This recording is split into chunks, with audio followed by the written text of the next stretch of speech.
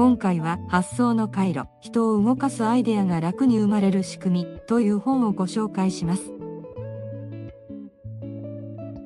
企画の重要性がビジネスや広告業界でますます高まる中、多くの人がアイデアが思いつかない、企画が通らないという悩みを抱えているのは実際に企画を教わる機会が少ないからだと指摘されています。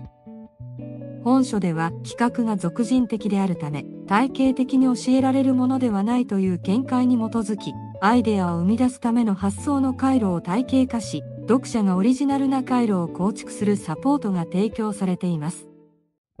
この本では広告業界で10年以上の経験を持つ著者が発想力を高めるための方法や工夫について明らかにしています。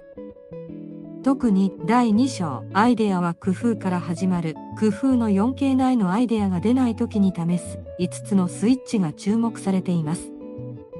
まずスイッチ1では手で発想する方法が紹介されています。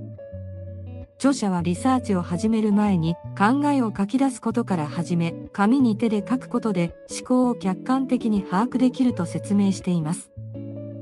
手で書き出すことで複数の思考を同時に走らせアイデアの発想に役立つとのことです。次にスイッチ2では目で発想する方法が紹介されています。新しい商品やブランドに取り組む際には売り場を実際に訪れ観察することが欠かせないと述べています。外部の情報をインプットすることでアイデアの出発点が変わり新しい視点からのアイデアが生まれるとのことです。スイッチ3では耳で発送する方法が取り上げられています。市場に出ている商品に関するインタビューを行うことで使っている人のリアルな意見やニーズを探り出し商品に対する理解を深めることが強調されています。そしてスイッチ4では口で発送する方法が紹介されています。考えを口に出すことでテキストだけでは気づけなかった問題が明らかになり説明がスムーズにいかない部分を見つけることができると述べられています。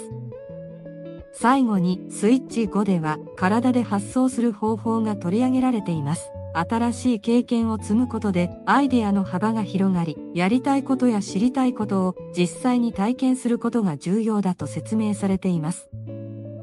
これらのアプローチは発想の幅を広げ、アイデアを生み出すためのツールとして非常に有益であると感じました。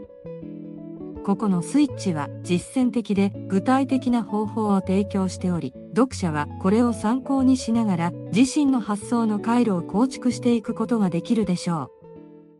う。この本は広告業界関係者だけでなくアイデアや企画が求められるあらゆる業種の人にとって価値ある一冊と言えます。